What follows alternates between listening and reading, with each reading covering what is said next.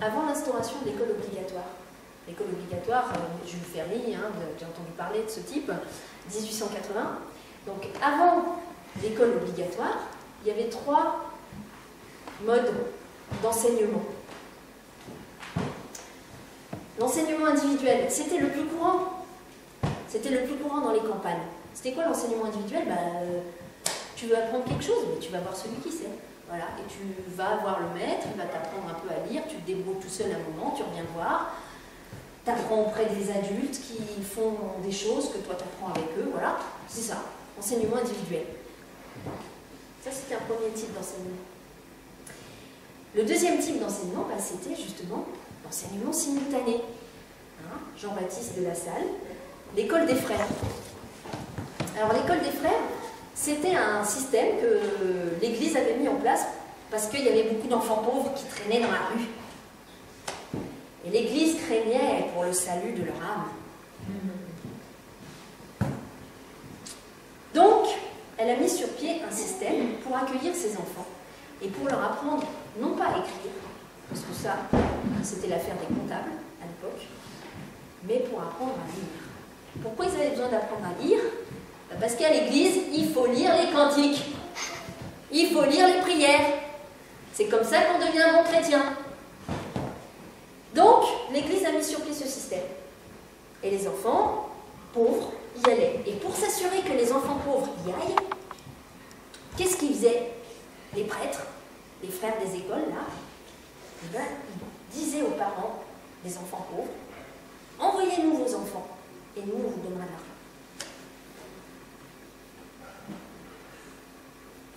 Ben, ça, euh, en fait, c'est un petit peu, un petit peu, il y en a vraiment un petit peu, avec beaucoup de nuances et de... C'est un petit peu l'ancêtre des allocations familiales. Voilà. Donc ça, c'était l'enseignement simultané. On avait vu que ça marchait assez bien. Euh, les enfants devaient tous être assis, comme vous maintenant. Ils écoutaient tous, ils regardaient tous dans la même direction. Il fallait un silence absolu. Voilà. Il y avait trois enseignants, trois frères qui enseignaient, chacun à des degrés différents. C'était déjà des classes comme ça. Hein.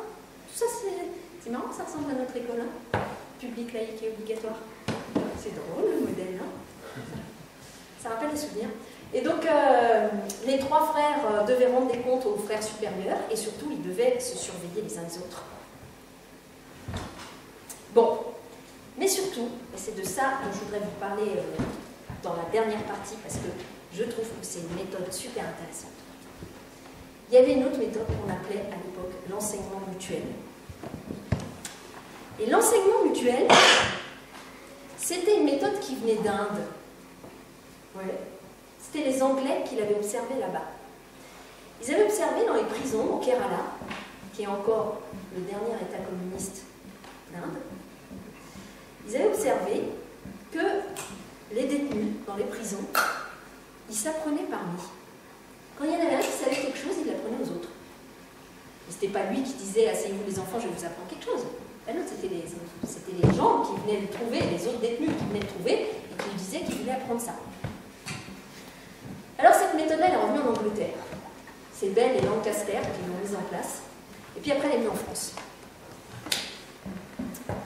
Et en fait, ça, ça marchait du tonnerre de Dieu. Les enfants, en 6 ans, à, l'école des frères chrétiens, les enfants, ils devaient rester 6 ans. Hein. Et ça durait 6 ans, ce qu'ils apprenaient. Ben, l'enseignement simultané, en 2 ans, les enfants, ils savaient ce que les autres savaient en 6 ans. Ça marchait du feu de Dieu.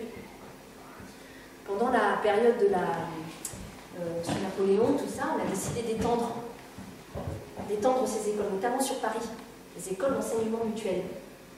Ça s'est beaucoup, beaucoup répandu. Il y a beaucoup d'ouvriers qui sont passés par là. Oui, parce que, une chose que je ne vous ai pas dit, c'est que, à cette époque-là, les bourgeois, ils avaient des manufactures. Ils employaient des enfants des enfants de 6 ans. Et les enfants à cette époque-là, à 6 ans, ça travaillait déjà. Hein travaillait déjà à l'usine. Mais il y avait un problème. Parce que ces enfants, à 12 ans, avaient déjà commencé à travailler à 6 ans, ils étaient tout foutus. Tout foutus. Ils ne pouvaient plus servir à rien. C'était plus étaient déjà, ils avaient déjà plein de problèmes physiques, tout ça, et surtout, c'était plus des bons soldats. Comment qu'on allait faire pour faire la guerre en 1870 Alors, il y a des patrons qui avaient l'idée. Ils se sont dit, eh ben, on va rallonger la durée de l'école. Il nous faut un système d'école qui fait que les enfants, ils ne travaillent pas avant 12 ans, avant l'âge de 12 ans. On va les garder à l'école. Et à l'école, on va leur apprendre, oui, peut-être un peu à lire, éventuellement à déchiffrer, mais surtout, on va leur apprendre ce qui va leur servir comme ouvrier, comme soldat. Tu restes assis, tu ne bouges pas, tu fais ce qu'on te dit. Ils ont trouvé que il fallait un enseignement qui soit obligatoire. Il fallait obliger tous ces enfants à aller à l'école pour le bien de leurs entreprises, pour le bien de la nation. Et pourquoi il fallait que ça soit obligatoire? Parce qu'il y avait quand même des patrons qui continuaient d'employer des enfants de 6 ans. Ça faisait concurrence. Bon, alors, ils ont fait pression. Et finalement, Jules Ferry est apparu, sorti euh, du potager, certainement, dans les choux, comme ça. Et il est apparu, il a fait, il a créé cette école publique, laïque et obligatoire. Laïque, parce que avant c'était l'Église qui tenait l'enseignement. Les patrons, ils ne voulaient pas de ça. Ils voulaient récupérer le pouvoir. Donc il fallait que cette école, elle, se démarque de l'Église. Mais comment on allait faire? Donc, ils ont mis en place des écoles. Et au début, ils se sont dit, bah, la méthode de l'enseignement mutuel, c'est bien. Au début seulement. Hein. c'est économique. Il y a un seul maître pour 300 enfants. Et puis ce maître, il enseigne à une petite dizaine d'enfants. Puis cette petite dizaine d'enfants, ils vont enseigner aux autres. Et puis les autres, ils enseignent aux autres. Voilà. C'était super. Ça marchait du feu de Dieu. Maintenant, ça ne marchait pas. Pourquoi? Parce que les enfants, ils apprenaient très vite à lire. Et puis surtout, ils ne respectaient pas l'autorité par le savoir. Eux, quand ils voulaient apprendre quelque chose, ils allaient trouver un de leurs copains et ils lui disaient ben, Apprends-nous ça. Voilà.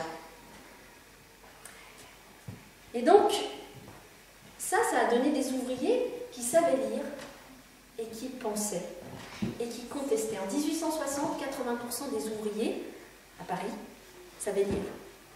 Avant même l'instauration de l'école obligatoire. Ils savaient lire. Donc on comprend la commune, dont on parlait hier, hein, la commune, les idées de la commune, tout ça, d'où c'est venu? De toute cette, cette, formation, cette auto-formation, cette formation mutuelle que les, que les ouvriers se donnaient par eux. Et donc ça, ça ne pouvait pas passer. Il fallait revenir à un mode d'enseignement qui soit plus strict. Parce que là, dans l'enseignement mutuel, les enfants, ils bougeaient, ils se déplaçaient, ils allaient d'un groupe à l'autre. C'était un peu petit, quoi. Donc, finalement, on a décidé de garder plutôt la méthode simultanée. Qu'un même livre, un même maître, une même leçon, une même correction ça s'arrête à tous. C'est ça qu'on a gardé. C'est ça qu'on a subi. C'est ça que j'ai subi. C'est ça que j'ai refait.